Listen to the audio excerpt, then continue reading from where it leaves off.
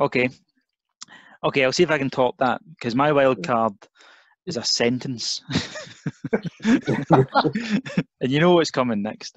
I know, I know what's coming. So the sentence is oh no, no, no, on no, no, which, you know, to translate for anyone not from the west of Scotland means oh dear, not an onion as well now, um, roughly. oh no, no, no, no, no, no, is for me, you know, in terms of lexicology, linguistics, is as beautiful as cellar door, which I, I, believe a famous linguist once once suggested was the the finest uh, form of the English language or the, the greatest syllables put together. I, I would contest that with oh no no no no no no. you remember when you first heard it though?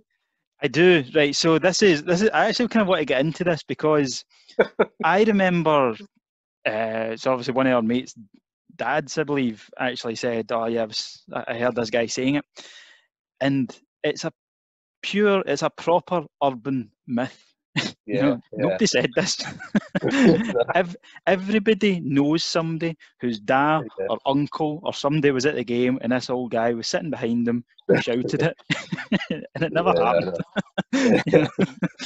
um, I, you know, it's but, but somebody somebody said it for the first time somewhere. Somebody came up with it, didn't they? I know, yeah. It's just somebody down somewhere, and the bus thought, "I'm a genius." and they are, you know, and like you know, fair play to them. Uh, but yeah, it, it's proper folklore stuff. Uh, it's just a it's just a wonder of the English language. I think that that's created it. I'll give you a wee bit about Rico because Rico Annoni, I loved him when he was at Celtic. I'm sure you guys did as well, and obviously won the title in '98 as well. Yeah. Um, League yeah, yeah. yeah, absolutely. Um, I remember.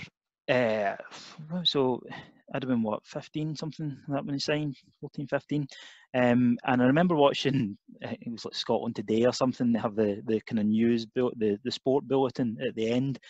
And uh, it was like Celtic have signed this guy from Serie A uh, from Roma. And they had so they're introducing it you know like new signing um, you know new Italian signing for Celtic. And then they start showing this clip and there's this like classy Italian winger like running down the line, beating a couple of guys, and you're thinking, oh wow, this guy looks good. And then out of nowhere, this bald-headed lunatic just pure flies in and halves him. like, All right, that guy. and that that's Rico.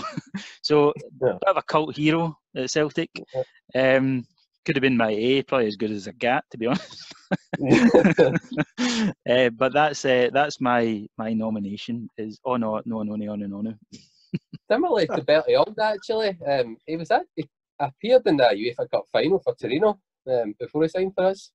Yeah, that's uh, to be honest, I didn't yeah. actually know that about it, but yeah, there you go. Yeah, well, well, actually appeared in two because it was a two-legged game at that time. Um, not bad, talking rubbish actually. He was suspended for the second leg. Um, Doesn't surprise unsurprisingly. but Fair enough. in the first leg, he beat off Ajax, um, so uh, it's a bit okay. of a shame. But I played in the European Cup final, no, European UEFA Cup final. Yeah, just like Bertie Auld, actually, Rico Annoni. Yep.